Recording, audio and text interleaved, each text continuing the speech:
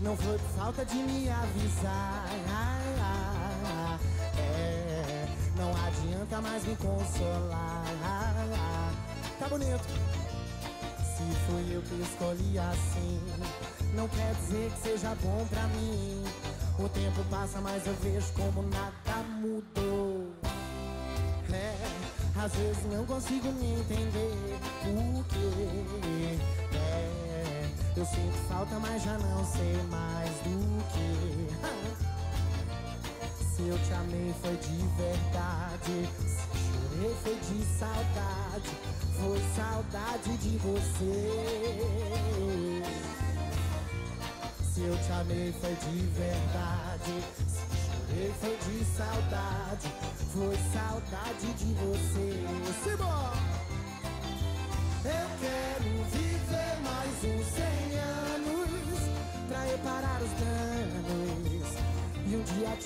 Encontrar por aí. Deixa eu fazer parte dos seus planos pra consertar enganos. É que eu tô aqui, cheio de alegria.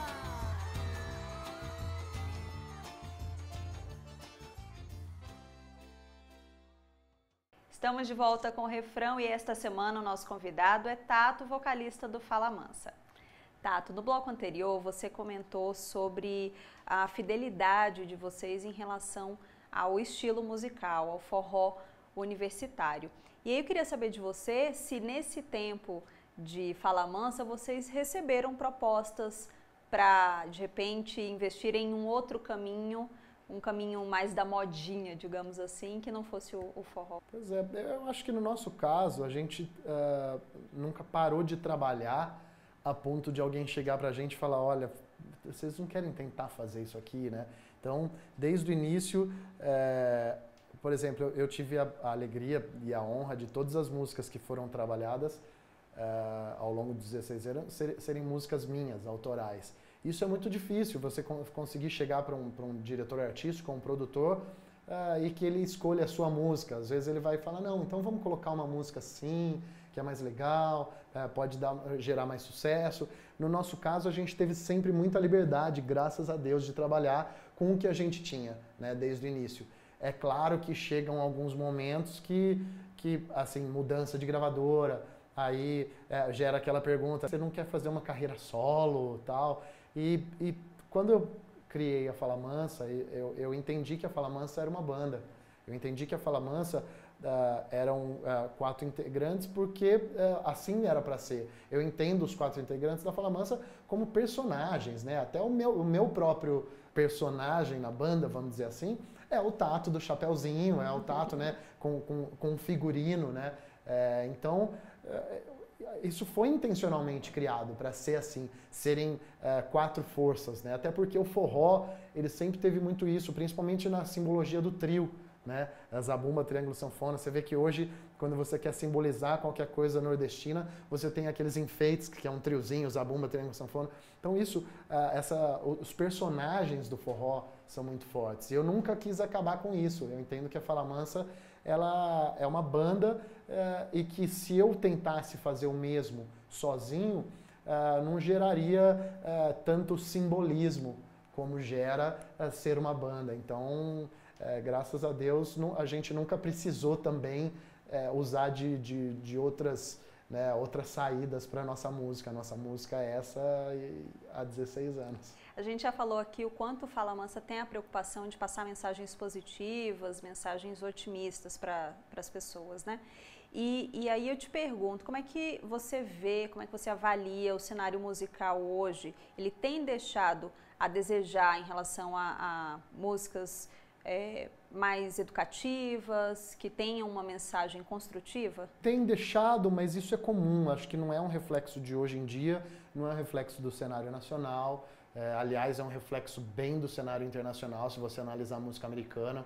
É, eu só me preocupo né, no, no, no, ah, na posição de um músico, de um compositor, eu me preocupo porque eu entendo a música como parte da educação. E a educação não só a, a, parte educativa mais didática, não só do vocabulário em que você usa nas letras, mas principalmente do, do, do da mensagem positiva, né? De você uh, entender a música como uh, um, um, método de fazer bem as pessoas, de passar o bem adiante, de passar ensinamentos básicos como o amor ao próximo, né? Uhum. Passar ensinamentos básicos como a amizade. Então, a, a música ela talvez seja mais importante no intuito educacional, se você for pensar, do que a própria literatura. Mas aí você pensa, poxa, mas educação ela vem dos livros. Mas quantos livros as pessoas leem e quantas músicas elas ouvem, né? Então, no nosso país, principalmente, a música ela toma uma proporção uh, de importância muito maior do que um livro. E se você não tem uh, a educação presente nessas músicas, ou se você tem a deseducação presente em algumas músicas, isso acaba gerando um conformismo no público que já espera isso de uma música. Ah, a música para ser legal ela tem que ser polêmica. Ah, ela tem que ter uma coisa engraçada. Ah, ela tem que ser gerar alguma espécie de, de surpresa. Então a, acaba que você tira um pouquinho da, da, da importância educacional da música. Isso me preocupa bastante mas também me, acho que me motiva quando você vê isso acontecendo, mas você quer fazer o contrário para que a balança né, se uhum. equilibre. E o que, é que você gosta de escutar nas horas vagas? Forró? Eu escuto pouco forró, apesar de, é, assim, eu escuto muito vinil, e no vinil acho que 70% dos meus vinis são de, de forró, de Luiz Gonzaga, Dominguinhos. Uh, mas eu escuto, escuto muito rock and roll, uh, muita música indie, que eu gosto bastante.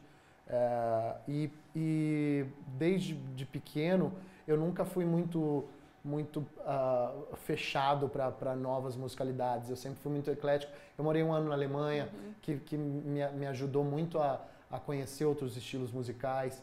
E depois que eu voltei para o Brasil, eu virei um patriota musical, né? Porque estava com muita saudade. E aí eu caí para o forró, mas sempre ouvindo muito música cubana, sempre ouvia muita salsa. E, e muito preocupado, não, não no estilo musical, mas sim na, na qualidade que ele apresentava. Então, é, eu posso dizer que eu sou um, um forrozeiro como profissional, mas um, um, músico como produtor, compositor, eu gosto de escrever outras coisas também, porque está dentro do, do, meu sangue musical. Né? Quais são os próximos projetos do Fala Mansa? Bom, a gente, com esse disco Amigo Velho, a gente eh, saiu em turnê agora com, com um show novo e o show tá muito bonito. E acho que quando, quando é, eu diria que desses 16 anos, é, é, tá entre os três melhores shows da banda. E eu queria muito transformar isso em um DVD. Espero que pro ano que vem isso aconteça. E principalmente rodar a estrada com esse, com esse show, que é um show que ele envolve não só da musicalidade da banda, né, com as músicas novas, mas também ele tem um monte de coisa relacionada ao próprio cenário, à produção, que, que é bem bacana de ser passado adiante. Espero que eu possa passar. Tato, obrigada pela presença aqui no Refrão. Muito sucesso com esse novo trabalho. Muito obrigado, obrigado a vocês e passem o bem adiante. O refrão de hoje fica por aqui. Obrigada pela sua companhia. Se você quiser conferir este e outros programas, basta acessar tvjustiça.jus.br ou se preferir, mande uma sugestão com a sua música predileta que a gente vai analisar aqui. É só enviar o um e-mail para refrão@stf.jus.br. Até a próxima semana. Tchau. Pode